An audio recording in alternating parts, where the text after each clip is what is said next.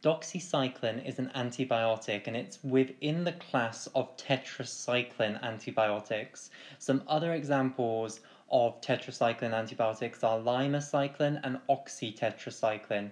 Now, in the UK, in hospital medicine, doxycycline is by far the most used of the tetracyclines. I have never prescribed lymecycline or oxytetracycline in hospital, or at least I've never initiated either of these tetracyclines.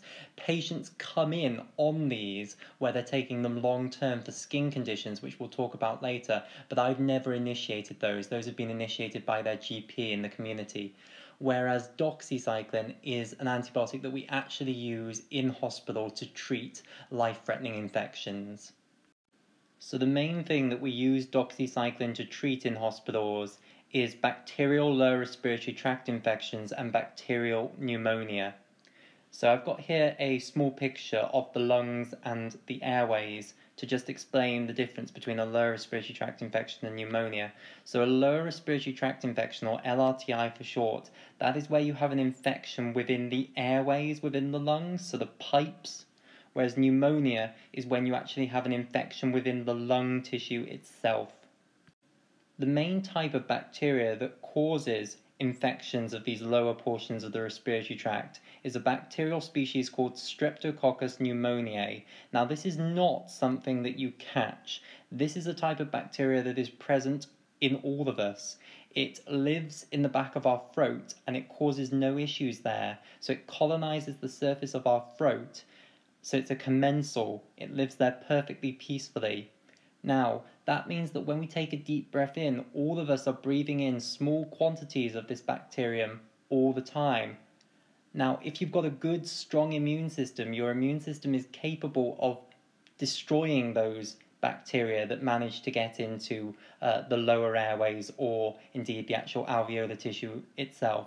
However, in someone who is elderly and frail, if they their body is currently very stressed already let's say maybe they've just had a fall and injured themselves very badly and they're stuck in bed because of the pain following their fall then their body is physiologically stressed already that will weaken then their immune capabilities and they might then not be capable of defending themselves against these small quantities of this bacteria that they're breathing in all the time. And that bacteria might then be able to actually colonize these lower portions of the respiratory tract and set up a bacterial lower respiratory tract infection or indeed bacterial pneumonia.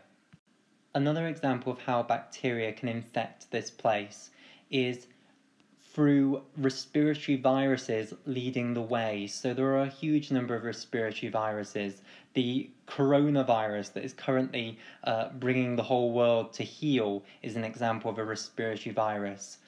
Often in young, healthy individuals, these respiratory viruses only manage to infect the upper portions of the respiratory tract, i.e., the nasal cavities, the throat, maybe even the voice box. But they then don't manage to get into the lower portions, portions of the respiratory tract. However, again, in an elderly person whose immune system is not as strong, these respiratory viruses might get further down. They might get into the trachea or maybe even into the lower airways. So you can get viral lower respiratory tract infections. And then when the body's so distracted trying to fight that viral infection, then these bacteria that you're breathing in all the time anyway, they might go unnoticed by the immune system and then set up a secondary bacterial infection. So you can get secondary bacterial lower respiratory tract infections and secondary bacterial pneumonia from the primary viral lower respiratory tract infection. So bacterial infections in these lower portions of the respiratory tract are extremely dangerous because they're going to destroy the ability of the lungs to do their job, which is to uh, bring in oxygen into the blood and take away carbon dioxide. And if this infection isn't got on top of, either by the body's immune system or by antibiotics, then that individual is eventually going to die from respiratory failure. And indeed, prior to the days of antibiotics, these infections would have often been fatal. So doxycycline is highly effective against Streptococcus pneumoniae and therefore it is an excellent antibiotic to use to treat lower respiratory tract infections and pneumonia. However, it is only available as an oral medicine, so it's available usually as a capsule that is taken orally. There isn't an intravenous version of doxycycline available, and that usually means that doxycycline is only used in people who are quite clinically well despite having these infections. So, if, for example, you had a patient who is extremely unwell from pneumonia, they might be delirious because of the infection. So, when people have a really bad infection, the toxins going into the blood and the inflammatory cytokines going into the blood from the site of the infection cause the brain to not function properly. So people become very confused and it's called septic delirium. And in that state, the person might not actually be compliant with taking an oral tablet.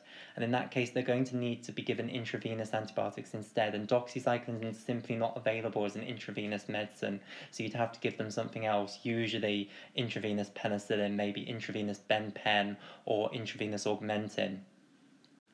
However, in the case that an individual is reasonably well with one of these infections, doxycycline is an excellent treatment option, and it might be the case that the individual is so well that they don't actually even need to come into hospital and they can be given this medicine to take in their own home to treat their infection. So the dose of doxycycline, there are two main doses. There's the normal dose, and then there's what we call high dose doxycycline, which we do use occasionally. So the normal dose is to take 100 milligrams once daily, and doxycycline usually comes in 100 milligram capsules, so this just means taking one capsule once a day, usually given first thing in the morning. Now, one thing to add to that is we usually do give a higher dose as the first dose. We give what's called a loading dose. So the first dose of the medicine that you take is twice the dose that you take for the remainder of the course. So you take 200 milligrams, two capsules on the first dose, first day, and then every day after that you take 100 milligrams. And a course might last for seven days, it might last for 10 days, it might last for 14 days, depending on how long the clinician thinks it's going to take to beat the infection off.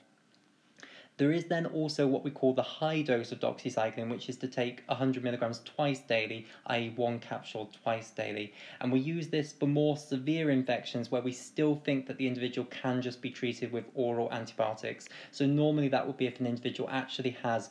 Uh, X-ray proven pneumonia. And the way that an X-ray proves pneumonia is when you take an X-ray of someone's chest, you can see areas of the lung that are actually infected. They show up as white splodges that we call consolidation on a chest x-ray. So if someone has chest x-ray proven pneumonia, but they are actually quite clinically well, maybe even suitable to go home, and we wanted to treat them with doxycycline, then we would usually potent- or potentially give them high dose doxycycline, so we'd give them 100 milligrams twice daily, again for maybe 7 to 10 days. Now, despite being a perfectly valid treatment option for these types of infections where an individual is reasonably well and can just take an oral antibiotic, doxycycline is not viewed usually as being the first line treatment in that sort of situation. The first line treatment would be uh, antibiotics such as the ones that I've listed here, so penicillin antibiotics, so amoxicillin or amoxicillin with clavulanic acid, coamoxiclav usually called augmentin. These are available as oral medicines, and these would usually be the first line treatment that you'd consider for an individual with uh, one of these infections. Doxycycline instead is something that we would usually go to as an alternative if an individual is penicillin allergic. So if they can't take these medicines because they're allergic to penicillin and they've got one of these infections, they're clinically well, so they don't need to necessarily come into hospital. We're going to treat them with an oral medicine in the community. Doxycycline would then be an excellent option.